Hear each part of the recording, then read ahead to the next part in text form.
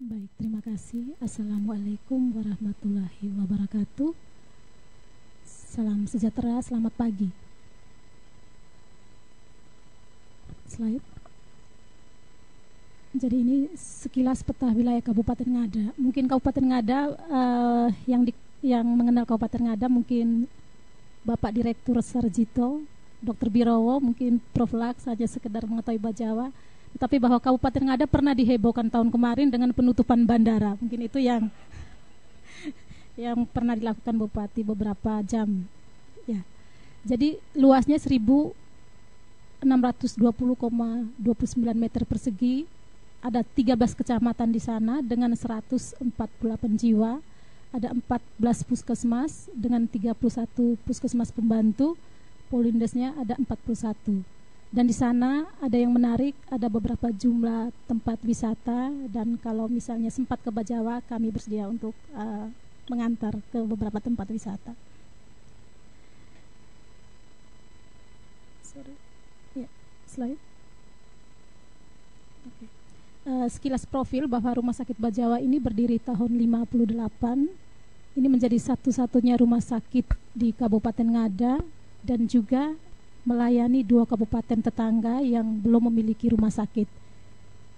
Jumlah SDM ada 358 dan rumah sakit ini baru terakreditasi pada tahun 2012 dan baru naik status menjadi kelas C di 2013 kemarin. Dan ini lagi-lagi karena keberadaan residen di sana. Indikator uh, untuk rumah sakit tahun 2013 kemarin bahwa jumlah tempat tidur sampai sekarang sebanyak 125 buah dengan jumlah pasien rawat inap 6.575 kunjungan rawat jalan sekitar 19.494 dengan bor 58 persen. Dan untuk rumah sakit daerah tentunya bor tertinggi itu di kelas 3 itu mencapai kurang lebih 90 persen. Sementara yang tersisanya bed yang tidak terisi biasanya di kelas 2 dengan uh, length of stay-nya 3,7 hari dengan uh, turnover intervalnya 2,5 hari. Sementara kondisi dokter, ini residen bedah ini kosong, jadi saya minta mungkin ada KPS yang mungkin sempat hadir di sini, mohon Rumah Sakit Bajawa diperhatikan. karena saat saya berada di sini di sana juga ada laporan bahwa banyak pasien yang terus dirujuk ke rumah sakit yang melampaui uh, kabupaten yang tidak memiliki rumah sakit. Jadi kurang lebih 4 jam baik ke kabupaten tetangga sebelah timur maupun barat. Sementara residen anak Opcin anestesi ini uh, hadir dengan adanya program sister hospital. Sedangkan patologi klinik yang diharapkan minimal untuk rumah sakit tipe C ini juga masih kosong radiologi ini menjadi PNS yang menetap satu dengan dokter umum yang menjadi dokter PNS juga ada empat orang.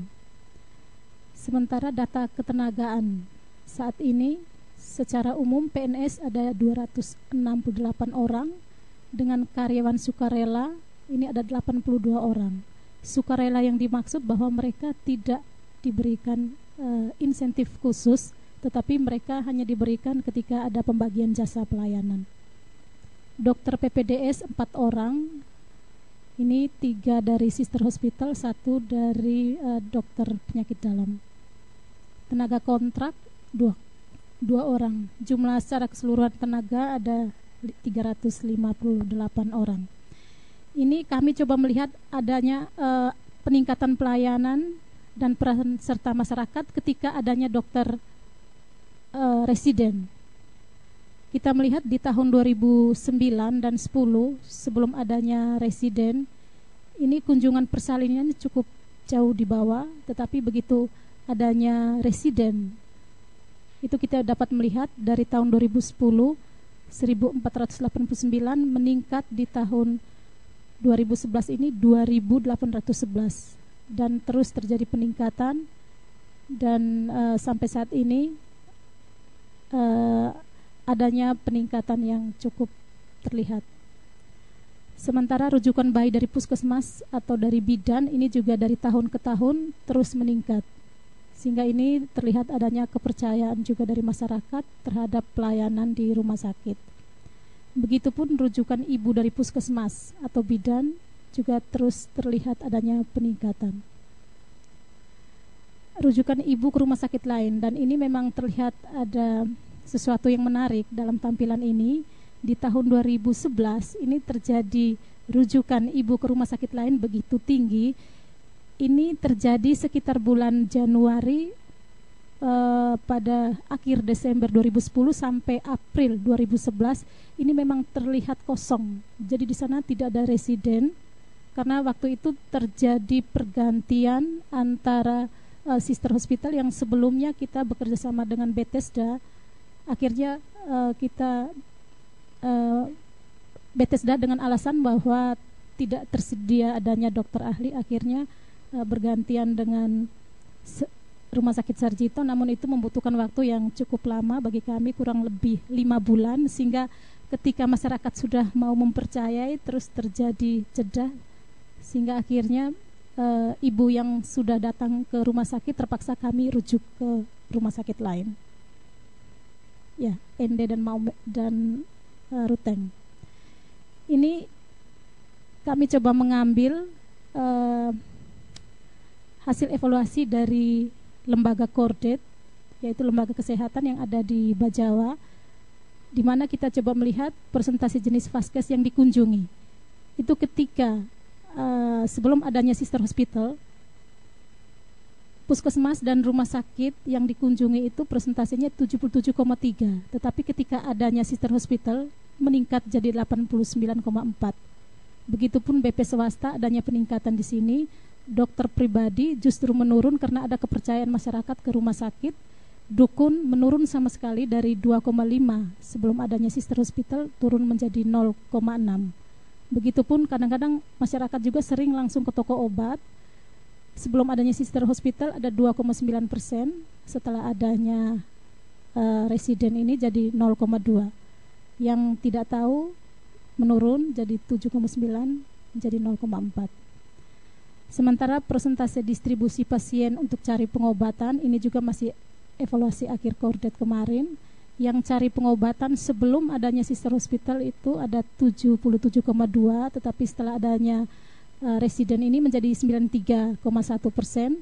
Pengobatan sendiri juga menurun dari 14,4 menjadi 6,1 yang tidak cari pengobatan dari 8,4 menjadi turun menjadi 0,8 presentasi jenis vaskes yang dikunjungi itu pun terlihat sangat uh, signifikan di mana puskesmas dan rumah sakit sebelumnya 77,3 menjadi 89. Oh ini minta maaf.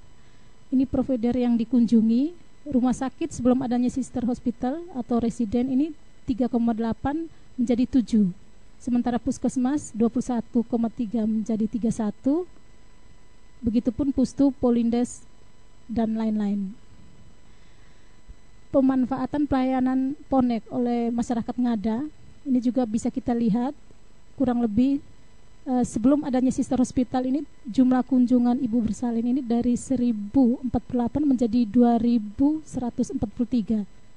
Kalau dalam hitungan uh, eh, 19 bulan menjadi 1457.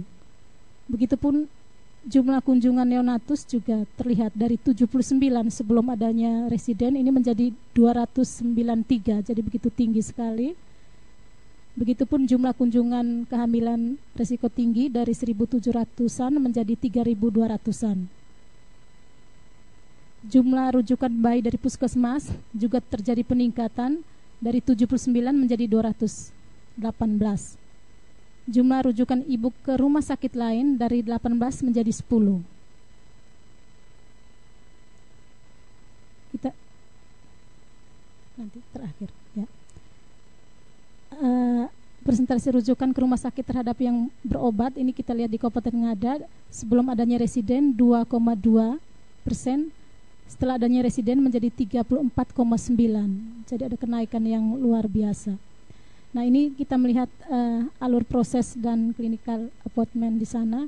Ini ketika residen datang melapor ke manajemen rumah sakit dengan membawa surat tugas, rekomendasi dari ID, sertifikat kompetensi residen dan ijazah. Setelah melengkapi surat ini, rumah sakit mengurus SIP ke Dinas Kesehatan Kabupaten dan Kabupaten uh, Dinkes Kabupaten yang mengeluarkan SIP, sementara Direktur mengeluarkan DPJP sesuai dengan kompetensi masing-masing. Uh, mungkin perlu kami sampaikan memang Rumah Sakit Bajawa saat sampai saat ini belum ada uh, ketua komite medik, semestinya yang mengeluarkan komite medik, namun sampai saat ini belum ada komite medik karena ketika ada kasus dokter Ayu itu rata-rata dokter umum takut untuk menjadi ketua komite medik. Sementara mau mengharapkan residen sangat-sangat tidak mungkin karena keberadaannya begitu singkat. Jadi fasilitas untuk dokter residen disediakan kendaraan termasuk BBN dan suku cadang itu disiapkan oleh rumah sakit. Tempat tinggal dan tempat praktek selama bertugas, listrik, air, telepon juga disiapkan. Disediakan juga cleaning service untuk e, membersihkan rumah dan halaman insentif pemerintah daerah untuk residen 10 juta per bulan dengan jasa medis sesuai dengan aturan yang berlaku di rumah sakit. Ini kami melihat akibat jika residen dihentikan pengiriman. Tentunya ini akan terjadi peningkatan rujukan ke rumah sakit lain, penurunan penurunan e, rujukan dari puskesmas tentunya. Karena kemungkinan pasien atau keluarga pasien akan memilih tinggal dan mungkin akan meninggal di puskesmas. Masyarakat akan semakin terpuruk tentunya karena presentasi uh, masyarakat miskin lebih banyak tentunya di daerah dan tingkat kepercayaan masyarakat umum terhadap pelayanan rumah sakit tentunya akan menurun. Ini saran kami. Kegiatan penugasan dokter residen eh, mohon terus dilanjutkan agar FK sebagai penyedia dokter residen makin meningkatkan jumlah dokter residen yang akan mengikuti tuga, eh, penugasan khusus dan yang terakhir agar ada kontinuitas pengiriman dokter residen minimal selama satu tahun penuh sesuai dengan masa tahun anggaran di daerah. Jadi kesimpulan kami bahwa rumah sakit daerah ini memang sangat sulit untuk memperoleh dokter spesialis menetap, apalagi dengan sistem JKN yang terkesan membuat dokter spesialis tidak mungkin ke daerah. Untuk itu, RSD Bajawa tetap mengharapkan agar pengiriman residen ke daerah tetap berlanjut dan residen mutlak menjadi DPJP karena secara kompetensi medik yang tertinggi di RSD adalah residen. Terima kasih. Assalamualaikum warahmatullahi wabarakatuh.